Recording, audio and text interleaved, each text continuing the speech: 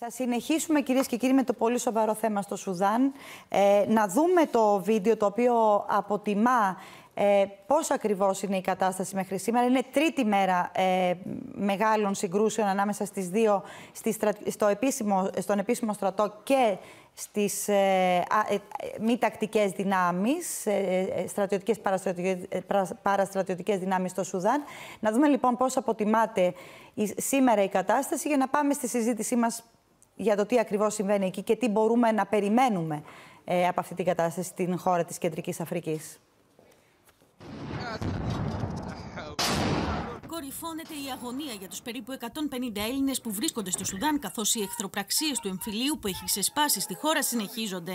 Χθες έγινε ευρεία σύσκεψη των επικεφαλής μονάδων διαχείρισης κρίσεων της Ευρωπαϊκής Ένωσης, μεταξύ των οποίων και της Ελλάδας, προκειμένου να βρεθεί τρόπος απομάκρυσης των χιλίων και πλέον Ευρωπαίων που βρίσκονται στην εμπόλεμη ζώνη. Κεντρικά θα γίνει κίνηση. Υπάρχουν σχεδιασμοί από τους Γάλλους, στους οποίους συμμετέχουμε. Ε, αυτή τη στιγμή προσπαθούμε να δούμε όλες τις πιθανότητες, γιατί μην ξεχνάτε ότι και το αεροδρόμιο είναι, ε, αυτή τη στιγμή δεν λειτουργεί. Οπότε πρέπει να βρούμε ε, ασφαλή τρόπο. Ξέρετε, το έχουμε ζήσει και στην Ουκρανία. Αν δεν βρεθεί τρόπος ασφαλής, ασφαλής διόδος, ε, δεν, δεν προχωράμε σε εκενώσει. Δεν είναι σωστό να προχωρήσουμε σε εκενώσει. Είναι ακόμα πιο επικίνδυνο. It's so scary. And this is not, this is a human abuse. You cannot stand this.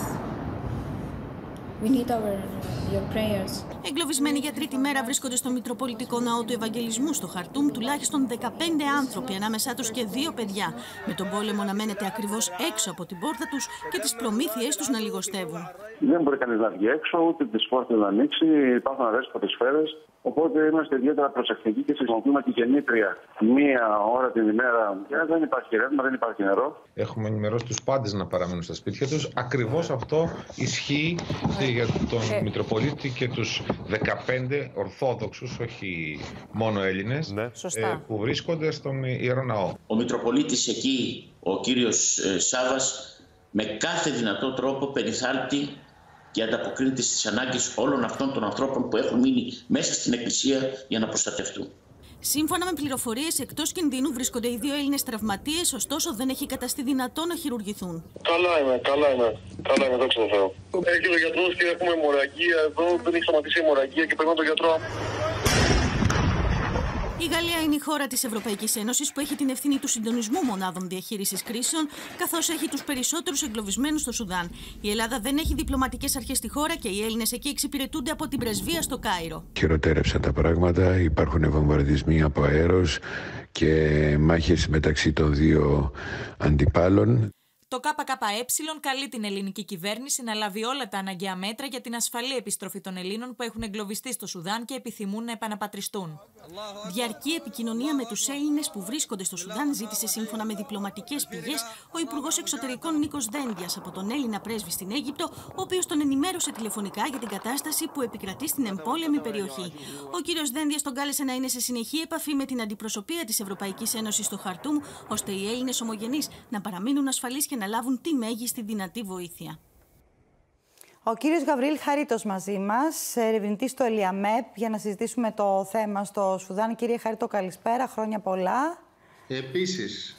Κύριε Χαρίτο, έχουμε μια χώρα της Κεντρικής, Αμερικής, της Κεντρικής Αφρικής, συγγνώμη, η οποία για πάρα πολλά χρόνια, πάρα πολλά χρόνια τον προηγούμενο αιώνα, είχε αλλεπάλληλους εμφύλιους.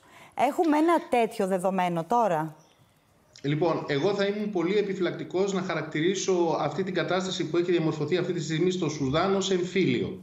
Ε, επίσης, να συμπληρώσω αυτά που άκουσα από το ρεπορτάζ, να πάρω για λίγο τη θέση σας. Άμα ξέρετε ε, περισσότερα βεβαίως, γιατί όχι. Λοιπόν, ε, υποτίθεται ότι στις 6 ώρα Σουδάν, από, απόψε 7 ώρα Ελλάδος, θα ε, είχε αρχίσει τη, το, η κατάπαυση του πυρός, η εκεχηρία ανάμεσα στις δυνάμεις του, του Μπουρχάν και του νταγκλο βλέπω ότι ε, η μοναδική αγγλόφωνη εφημερίδα της χώρας, η Sudan Tribune, ανακοινώνει δελτίο που έβγαλε ο στρατός, ο τακτικός στρατός, ναι. που λέει ότι δεν θα σεβαστεί αυτή τη συμφωνία, επειδή έχει πληροφορίες ότι οι δυνάμεις του Ντάγκλο, οι παραστρατιωτικές δυνάμεις, παρά το γεγονός ότι συμφώνησαν σε κατάπαυση του πυρός για εκεχηρία ε, μίας ημέρας, ότι συγκεντρώνουν δυνάμεις έτοιμες να αναλάβουν δράση. Αυτό που έχει πολύ ε, ενδιαφέρον είναι ότι το κρατικό ε, πρακτορείο ειδήσεων, το ΣΟΥΝΑ, ε, δεν αναφέρεται καθόλου στη συμφωνία αυτή που ε, όλοι μας γνωρίζουμε. Έχει πρόγραμμα τώρα, γιατί τις προηγούμενες μέρες δεν είχε πρόγραμμα, ούτε η τηλεόραση. Δεν μιλάω για την τηλεόραση, μιλάω για το, για το πρακτορείο, ΑΠΕ ναι. του, του Σουδάν, για το πρακτορείο ειδήσεων του Σουδάν, που εδώ και τρεις ημέρες δεν είχε ενημερωθεί η ιστοσελίδα του. Έχει σήμερα ενημερωθεί με μια ανακοίνωση ουδέτερη από το Υπουργείο Εξωτερικών, που ελέγχεται από τον τακτικό στρατό και από αυτά τα σημεία, από αυτές τις ενδείξεις μπορούμε να πούμε ποιος ελέγχει ως τώρα την κατάσταση.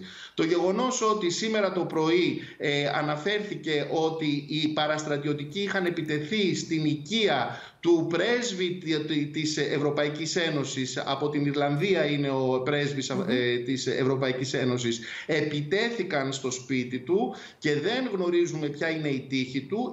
Η, Ευρωπαϊκή Ένωση, διά του Ζωζέ Μπορέλ, είχε δηλώσει σήμερα το πρωί ότι ε, ε, θεωρεί υπεύθυνη την, ε, την, τον τακτικό στρατό του Μπουρχάν για το τι συμβαίνει στην χώρα. Αυτά είναι σημεία που μας δείχνουν ότι ακόμα ο τακτικός στρατός είναι σε έλεγχο των κέριων κέντρων εξουσίας. Δεν έχουμε όμως αυτή τη στιγμή μια πλήρη εικόνα για το ποιος επικρατεί πού και εάν αυτή τη στιγμή στο έχουμε κατάπαυση του πυρός ή όχι. Είπατε, άρα δεν έχουμε σαφή εικόνα. Προφανώς δεν έχει ξεκινήσει η εκεχηρία εφόσον έχει διαφωνήσει ναι, ο τακτικός κρατό. Είναι δεδομένο αυτό. Και θέλετε να αιτιολογήσετε με λίγο, με, σύντομα, γιατί ναι. θεωρείτε ότι δεν είναι ένας καινούριος εμφύλιος; Λοιπόν, ε, από το 19 που ε, ανατράπηκε το, ε, το καθεστώς του Ομάρ, του Ομάρ Αλμπασίρ έχουμε το Εθνικό Συμβούλιο που αποτελείται από στρατιωτικούς και από πολιτικούς. Σας τα λέω πολύ χοντρικά για να είναι σαφές στον κόσμο. ο Μπουρχάν ήταν ο επικεφαλής του Εθνικού Συμβουλίου. Τον Οκτώβριο του 2021 ο Μπουρχάν ε, διέλυσε το ε, Εθνικό Συμβούλιο, φυλάκισε τους πολιτικούς, γιατί ανάμεσα στους πολιτικούς και, και τους στρατιωτικούς που ήταν στο Εθνικό Συμβούλιο υπήρχαν οι διαφωνίες σε εσωτερικό επίπεδο, όχι σε διεθνές ή σε ε, περιφερικό, έχει σημασία αυτό. Και από τον Οκτώβριο του 2021 ε, έχει διορίσει μια κυβέρνηση από τεχνοκράτες, που ε, στηρίζεται και από τον Μπουρχάν και από τον Ντάγκλο που σήμερα είναι στην Και έχουν συμφωνήσει επίσης μεταξύ τους τη δυτικόστροφη κατεύθυνση της, ε, της χώρας. Μάλιστα. Αυτό είχε συμφωνηθεί ήδη από το 19. Το Σουδάν έπαψε να είναι η ουρά, ας μου επιτραπεί, του Ιράν έπαψε να ε, επηρεάζεται η πολιτική του από τους αδελφούς μου μουσουλμάνους, έκανε στροφή προς τη Σαουδική Αραβία, έκανε στροφή στη Δύση. Συνεπώς, κύριε Χαρίτο, η, η, σημερινή σύγκρουση, επειδή δεν έχουμε και ε, το χρόνο στην τηλεόραση, η σημερινή εγώ σύγκρουση. Εγώ δεν τη θεωρώ ότι είναι εμφύλιος. Ναι, είναι ε, ένα ξεκαθάρισμα των λογαριασμών. Μάλιστα. Είναι για το ποιος, είτε ο Μπουρχάν είτε ο Ντάγκλο, θα ε, ελέγξουν τα κοιτάσματα του Χρυσού, τι θα γίνει με τα ε, λιμάνια του Σουδάν στην Άρα τις πλουτοπαραγωγικές πηγές της χώρας ουσιαστικά.